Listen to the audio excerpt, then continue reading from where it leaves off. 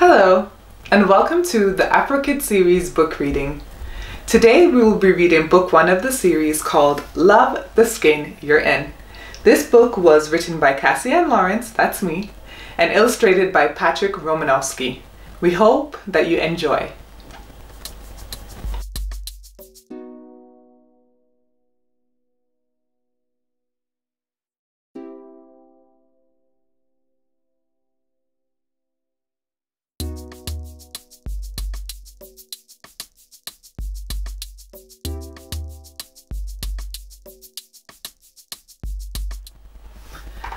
Aria Indy, Afro Kid. There is one thing about Aria. She's a very proud child.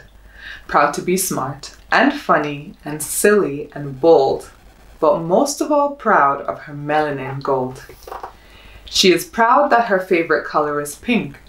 She is also very proud of her dark brown skin. She is proud that her best friend is Froby Froly, president of the land of all the Frolies. Aria was not always proud of herself though. She had trouble with loving her brown skin and afro. In a society where being black is a task, with a little help from Froby and Mommy, Aria's black pride grew fast. Pride is only one of the traits her mom had taught her, amongst love, kindness, compassion, and laughter. Of all the traits, though, Aria's favorite is love. Love spreads smiles and cheers, it rains from above. Aria thought long about what her mom taught her and decided she wanted to share it with the world.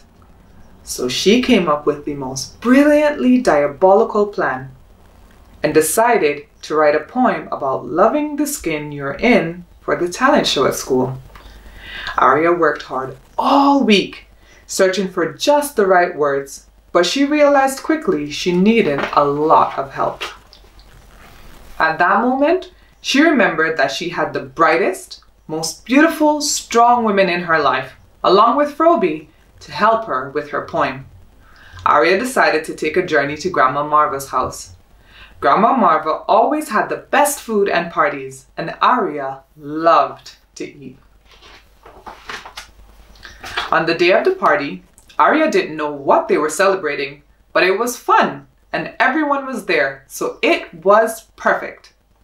Grandma Megan was there and Grandma Kathy, Auntie Taylor and Auntie Tia bringing out the food, of course, Auntie Ashley and Auntie Aaliyah playing catch. There was Auntie Amora and Auntie Whitzy talking about the feminist revolution and Auntie Felicia preparing her series of workshops for Black women of color empowerment therapy with a bowl of soup in her hand. Aria didn't know what that meant, but she knew it was very important. Auntie Felicia is a very smart woman. Cousin Steph playing with Cousin Sky, and Auntie Athena being her bold, honest, entrepreneurial self. It was an amazing sight, that's for certain. She gathered them all around and told them her plan. They were all so excited to help. Aria didn't want only black children to love themselves though, because with her big heart, she always thought of everyone. After all, we all doubt ourselves a little sometimes. With some help from Froby and all the powerful black women in her life, Aria was ready for the show. She braided her kinky curls and got ready to go.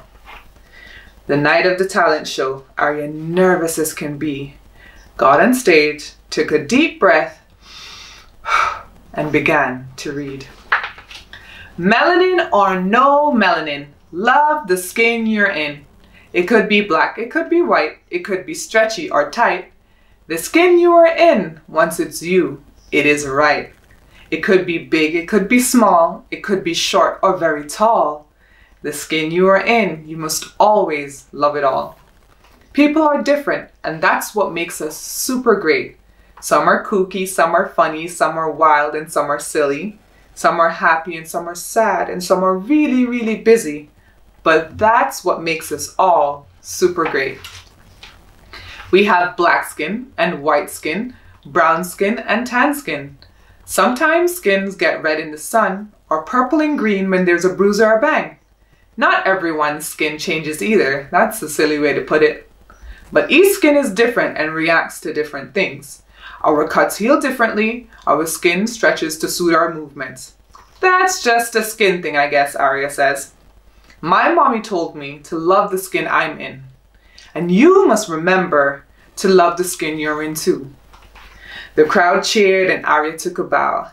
I thank you, I thank you, she was very proud. A standing ovation gave Aria, the crowd did. Always remember to love the skin you're in. The end. Thank you for joining us on the Afro Kids series book reading. We hope you have a wonderful day. Bye.